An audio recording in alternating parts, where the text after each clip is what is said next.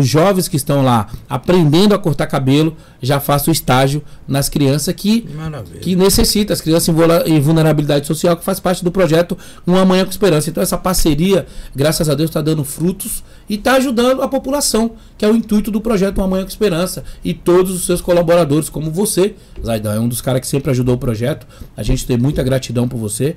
E a gente vê que cada dia mais o nosso projeto tem credibilidade, porque a gente trabalha com seriedade e a gente trabalha realmente direto ajudando a população carente. Muito legal, cara. Muito legal isso, viu? Muito... Você cortou o cabelo lá? Não? Eu corto, toda vez que eu vou lá, eu corto. Lá no, na escola, é, na piscina já, A molecada já disputa lá para cortar o cabelo do vereador. Vamos embora, já corta. Até que ficou bom, eu dar uma olhada assim do lado. Até que ficou bom, viu, vereador? Deixa eu ver, talvez eu vá cortar o é, meu lá também. O teu aí tá fácil, o teu tá fácil. Tá fácil. Mas o Jaidan, só quem corta dele é, é, é, o Jaça, viu, gente? O que é. corta do Silvio Santos. Aí ninguém corta, não. Ah, aqui não, é. Aqui é lá no, no, no Dom Fernando. O Dom Fernando é Dom Fernando. Dom Fernando, Dom Fernando meu amigo. Fernando, Dom Fernando, fazer um, um jabá aqui do Dom Fernando.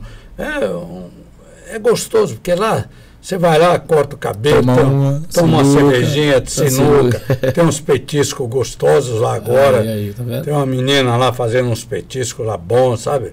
Um ambiente agradável, viu? É, Isaída um, gosta, Isaída gosta, hein? Tem até um violão lá. Tem um violão? Quando o Totó ah. vai lá e bate um violão. Amanhã é dia, toda quinta-feira tem um, um, um, violão gostoso lá. Show de bola aí, tá vendo? É. Aí sim. Toda quinta. Amanhã eu vou lá. Fumar um charuto cortar o cabelo, já está grande. né? É isso aí.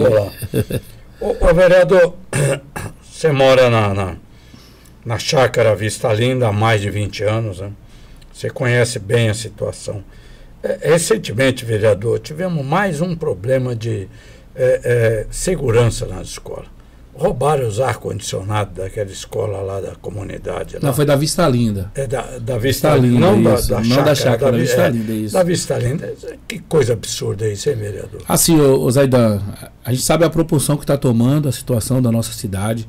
A gente está vendo aí a, a, segurança aumentando, como a gente tem um efetivo aí de mais 100 guardas né, municipais aí, para poder cuidar da segurança da população. E as nossas escolas, Aidan, hoje sabemos que existe uma lei que o muro não pode ser muito alto, né? Devido para as crianças não se sentem presas, é lei e tal. Mas o meu ponto de vista, a gente viu muita coisa acontecendo nas escolas. Então eu acho que as nossas escolas, antigamente, não sei se você lembra, mas tinha caseiro nas escolas. Né? Tinha vigilante na porta das escolas. Hoje não adianta. A segurança, por mais que a gente aumente aí o efetivo da guarda, aumente o efetivo da polícia militar, mas a gente não é igual tá? Uma pessoa ali de diariamente e à noite, né, para tomar conta do nosso patrimônio. Eu acho que é lógico que não é certo jamais, né, principalmente os ar condicionado que traz o benefício aí para nossa população, para nossas crianças, né, tá ali acomodada, né, estudar aí com mais com mais conforto. Eu acho que a gente precisa sim pensar em um jeito de trazer vigilância na nossa escola 24 horas. Não só quando a escola está vazia, mas sim quando o nosso filho está ali estudando também. Eu acho que ia sair mais barato do que deixar as escolas do jeito que está.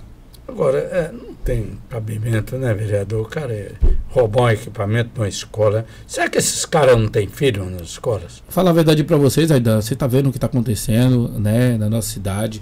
O que eu sempre venho falando ou a gente cuida, a gente começa a cuidar do que está acontecendo, formalizar esse jovem que está chegando. A gente precisa né, ocupar mais a mente deles. Ontem foi uma discussão na Câmara Municipal, a qual os vereadores né, apresentou uma indicação falando sobre a casa de passagem que hoje é localizada na Rua 9, na Chácara Vista Linda, né, falando do local que a gente precisa tirar de lá e colocar. É transferir problema. Ou a gente pega aquelas pessoas e. e, e Dá uma você... ocupação. Acabou, Zaidan. Dá uma ocupação. Ocupar a mente daquelas pessoas, a gente precisa pegar, tratar. Porque tem eles, tem deles lá, que nem você está falando. Será que os filhos deles estudam lá? Eu vou falar para você que hoje 50% dos moradores em situação de rua nem de bestioga é. Mais de 50%. Mas, então,